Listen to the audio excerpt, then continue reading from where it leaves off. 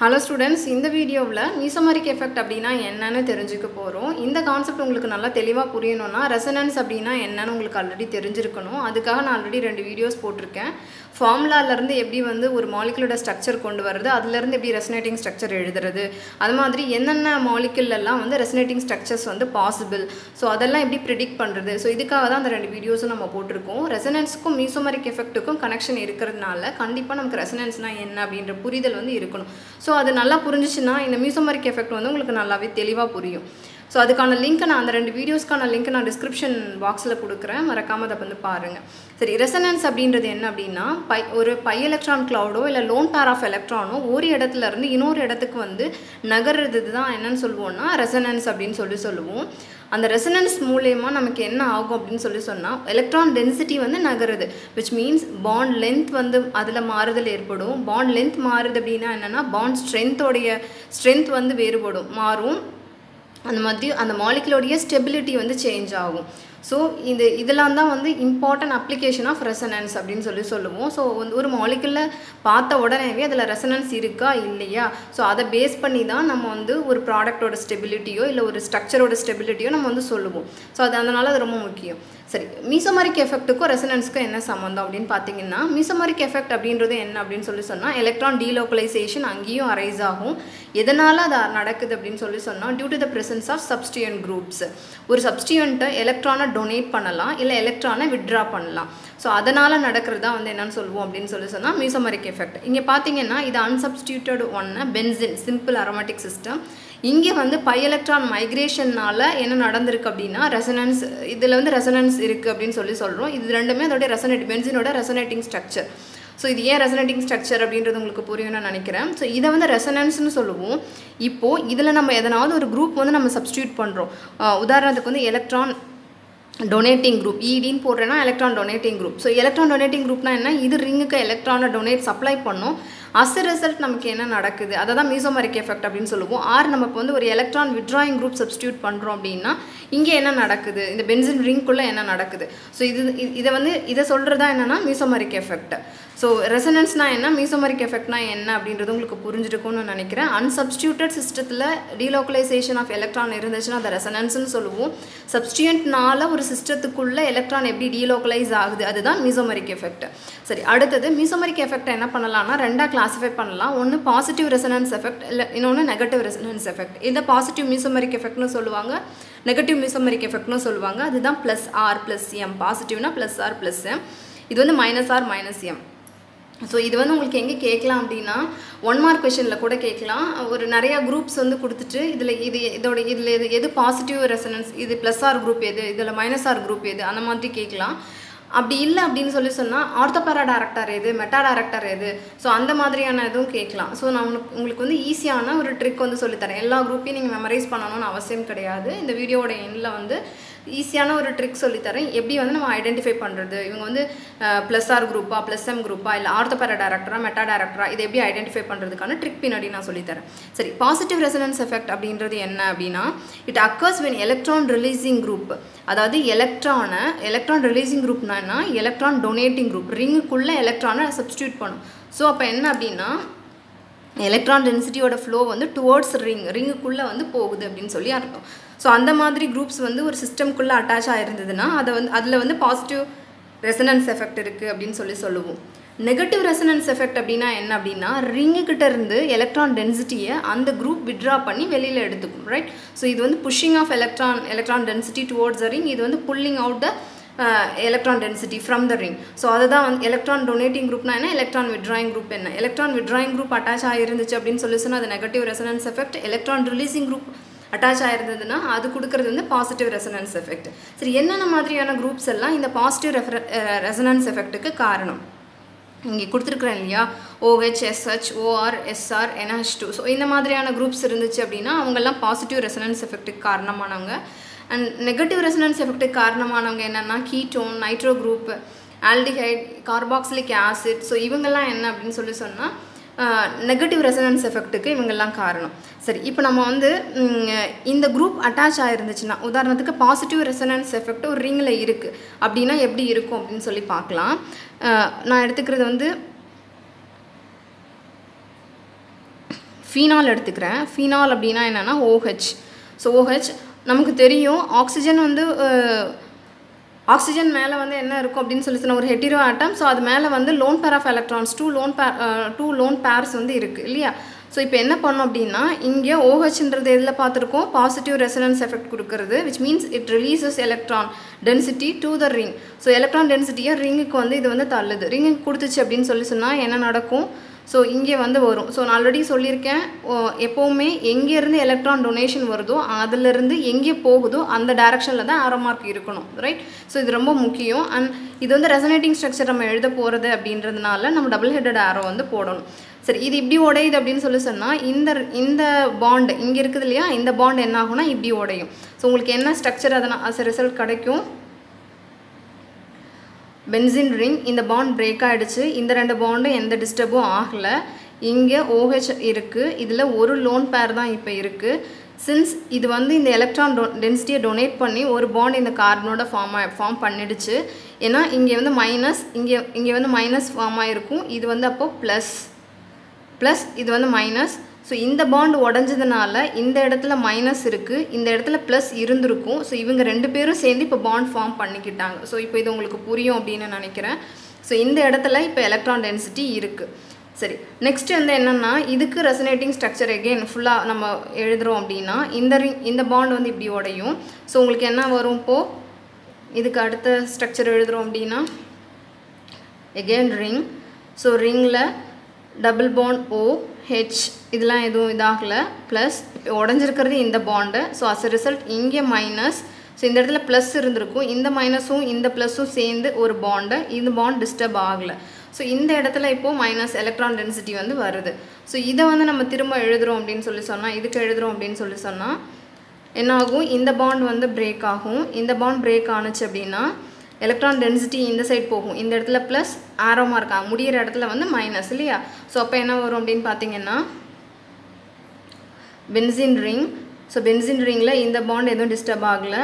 இங்கே ப்ளஸ்ஸும் இந்த மைனஸும் சேர்ந்து இங்கே ஒரு பாண்ட் ஃபார்ம் பண்ணிடுச்சு. இந்த இடத்துல இப்போ மைனஸ் இருக்குது இந்த இடத்துல வந்து என்னென்னா டபுள் பாண்ட் ஓஹெச் ஸோ இது வந்து அடுத்த ஸ்ட்ரக்சர் சரி திரும்ப இப்போ என்ன நடக்கும் அப்படின்னு பார்த்தீங்கன்னா இந்த எலக்ட்ரான் டென்சிட்டி இங்கே மூவ் ஆகும்.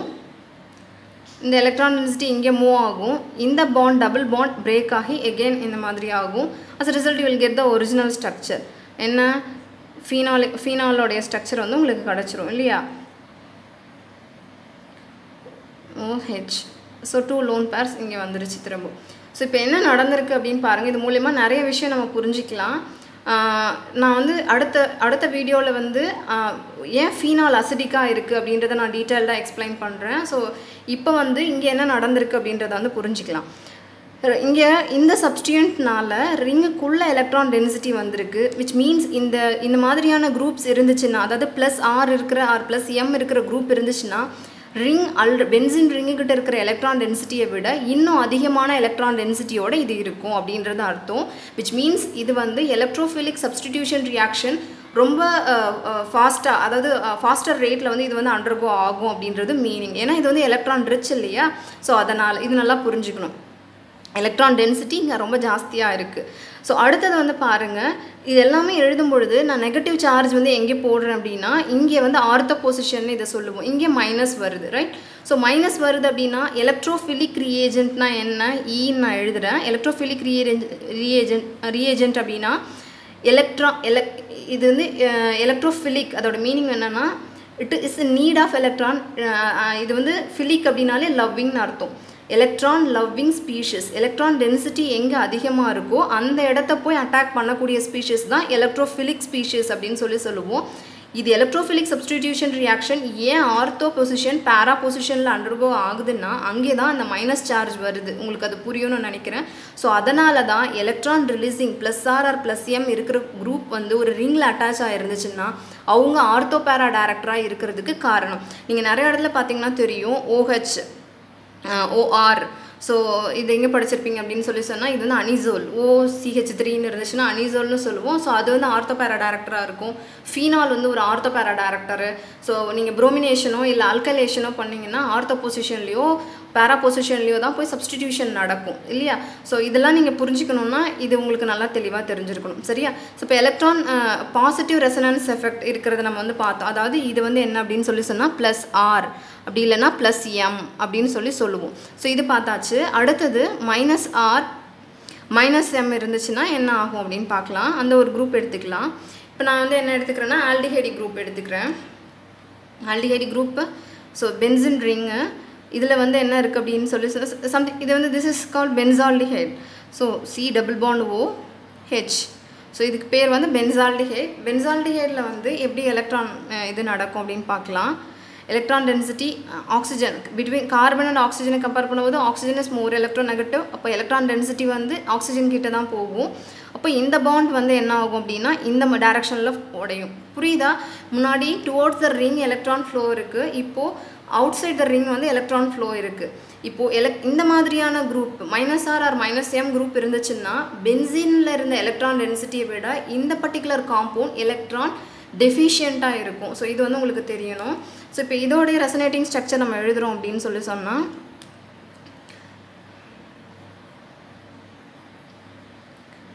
இந்த பாண்ட் நம்ம எதுவுமே டிஸ்டர்ப் பண்ண கிடையாது. ஸோ இங்கே என்ன வரும் அப்படின்னு சொல்லி சொன்னால் C single bond O minus இந்த இடத்துல என்ன வரும் அப்படின்னு சொல்லி சொன்னால் இது வந்து மைனஸாக இருக்கும் இது வந்து ப்ளஸ்ஸாக இருக்கும் ரைட் ஸோ இது ப்ளஸ்ஸாக இருக்கும். இந்த உடஞ்சதுனால இங்கே ப்ளஸ் இங்கே மைனஸ் ஸோ இதனால் இங்கே ஒரு டபுள் பாண்ட் ஆல்ரெடி அந்த ஹெச் அதை நான் டிஸ்டர்ப் பண்ணலை அப்படியே போட்டுட்டேன். இது எப்படி வந்துச்சுன்னு உங்களுக்கு புரியும்னு நான் நினைக்கிறேன். ஸோ அடுத்த ஸ்ட்ரக்சர் என்ன அப்படின்னு சொல்லி சொன்னால் இந்த டைரக்ஷனில் எலக்ட்ரான் ஃப்ளோ இருக்கும். ஸோ பென்சின் ரிங் இங்கே ஒரு பாண்ட் ஃபார்ம் ஆகும். இது C O minus H so இந்த இடத்துல இப்போ என்ன இருக்கும் அப்படின்னா பாசிட்டிவ் சார்ஜ் வந்து இருக்கும்.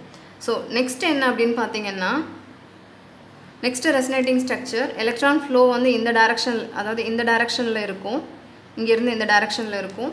ஸோ இப்போ வந்து இந்த மாலிக்யூலில் சாரி இங்கே டபுள் பாண்ட் வரும் இல்லையா? ஸோ இங்கே வந்து என்ன அப்படின்னா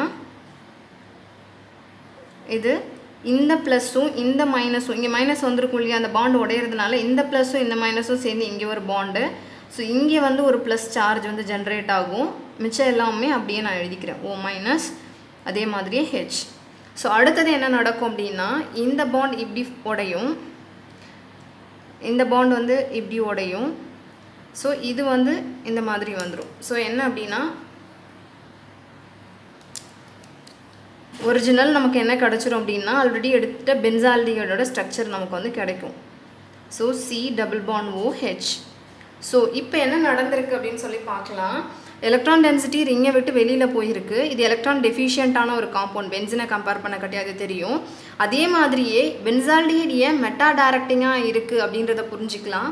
வரக்கூடிய group towards electrophilic substitution reaction electrophile அப்படின்னா எலக்ட்ரான் ரிச் சென்டரை அட் அட்டாக் பண்ணக்கூடியது. ஸோ எலக்ட்ரோஃபைல்ஸ் eh, eh, எல்லாமே இவங்கெல்லாம் எலக்ட்ரான் டெஃபிஷியன் பிகாஸ் ப்ளஸ் இருக்குல்ல அவங்க மைனஸை தேடி தான் போவாங்க. இப்போ பார்த்தீங்கன்னா இந்த இடம் பாருங்கள் ஆர்த்தோ டேரக்ட் ஆர்த்தோ பேரா இது வந்து ஆர்த்தோ. ஸோ இந்த சைட்டில் எல்லாமே என்ன சார்ஜ் இருக்குன்னா ப்ளஸ் சார்ஜ் இருக்குது விச் மீன்ஸ் இந்த இடம் என்ன ஆகும் அப்படின்னா ரிப்பல் ஆகும் இல்லையா? ஸோ இவங்களோட போய் இங்கே சேர முடியாது. கம்பேரிட்டிவாக இந்த இடத்த காட்டியே வேறு எந்த இடத்துல இப்போ எலக்ட்ரான் இருக்கும்? இவங்க கண்டிப்பாக ஆர்த்தோவை அட்டாக் பண்ண முடியாது. பேராவையும் அட்டாக் பண்ண முடியாது. ஸோ ரிமைனிங் அவைலபிள் சைட் வந்து என்ன அப்படின்னு சொல்லி சொன்னால் மெட்டா ஸோ அதனால தான் பென்சால்டிஹைட் வந்து என்னென்னா மெட்டா டேரக்டராக இருக்குது ஸோ இதை பேஸ் பண்ணி தான் நம்ம வந்து சொல்லுவாங்க. ஆர்த்தோபேரா டேரக்டர் பற்றியும் இல்லை மெட்டா டேரக்டர்ஸ் பற்றியும் ஸோ இப்போ உங்களுக்கு மீசோமரிக் எஃபெக்ட்னா என்ன அப்படின்னு புரிஞ்சிருக்கும்னு நான் நினைக்கிறேன். சரி நம்ம எப்படி சிம்பிளாக ஞாபகம் வச்சுக்கலாம்? யார் வந்து ஆர்த்தோபேரா டேரக்டர் யார் வந்து மெட்டா டேரக்டர் அப்படின்றத வந்து? எல்லா குரூப்பையும் நம்மளால் மெமரைஸ் பண்ண முடியாது. அது சிம்பிளாக எப்படி ஞாபகம் வச்சுக்கிறது? இந்த ட்ரிக் கடைசியாக சொல்கிறேன்னு சொன்னேன் இல்லையா? ஸோ இப்போ தெரிஞ்சுக்கலாம். இப்போ ஓஹெச் குரூப் எழுதியிருக்கேன் இல்லையா? இவங்க வந்து என்ன சொல்லியிருக்கேன்? நான் ஆர்த்தோபேரா டேரக்டர் அப்படின்னு சொல்லி சொல்லியிருக்கேன். ஒரு ரிங் இல்லை ஒரு மாலிக்யூலில் டைரெக்டாக வந்து எலக் இது எலக்ட்ரோ நெகட்டிவ் ஸ்பீஷஸ் ஆக்சிஜன்ன்றது எலக்ட்ரோ நெகட்டிவ் ஸ்பீஷஸ் இல்லையா ஸோ எலக்ட்ரோ நெகட்டிவ் ஆட்டம் டேரெக்டாக ரிங்கோடையோ ஒரு மாலிகுலோடையோ சேர்ந்துருந்ததுன்னா அவங்களுடைய அவங்க நேச்சர் எப்படி இருக்கும் அப்படின்னு சொல்லி சொன்னால் plus R R plus M அப்படின்னு சொல்லி சொல்லுவோம். நீங்கள் எப் எதை வேணாலும் எடுத்துக்கோங்க. இங்கே பாருங்கள் எஸ்ஹெச்னு இருக்குது எஸ்ஹெச்சில் எஸ் தான் மோர் எலக்ட்ரோ நெகட்டிவ் அதனால் நம்ம என்னென்னு சொல்கிறோம்னா ஆர்த்தபேரா டேரக்டர்னு சொல்கிறோம் O R R means OC இருக்குது பக்கத்தில். தானே ஓசிஹெச் த்ரீ அப்படின்னு எடுத்துக்கலாம். இல்லை ஓ ஓ அதோட ஒரு ஆல்கைல் குரூப் சேர்ந்துருக்குன்னு அர்த்தம். ஸோ அப் டெஃபினட்டாக ஆக்சிஜன் பக்கத்தில் கார்பன் இருக்கிறதா தான் மீனிங் அப்போது இதில் டேரெக்டாக ரிங்கோட சேர்ந்துருக்கிறது யார்? ஆக்சிஜன் அதுதான் இருக்கிறதுல எலக்ட்ரோ நெகட்டிவ் கார்பனா ஆக்சிஜனா ஆக்சிஜன் தான் எலக்ட்ரோ நெகட்டிவ் இல்லையா? ஸோ எலக்ட்ரோ நெகட்டிவ் ஆட்டம் டேரெக்டாக ஒரு இதோட சேர்ந்துருந்ததுன்னா ஆர்த்த பேரா டேரக்டர் ஸோ இதே மாதிரி தான் இங்கே கொடுத்துருக்கிற எல்லா எக்ஸாம்பிள்லையும் நீங்கள் பார்த்து தெரிஞ்சுக்க முடியும்.